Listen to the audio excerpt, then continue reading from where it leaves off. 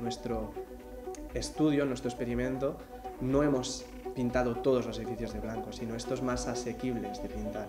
Y ya hemos detectado reducciones medias en el área metropolitana de 0,8 grados aproximadamente en un periodo de ola de calor y con picos máximos de 4 grados de disminución en un momento puntual del día, en una zona puntual del día.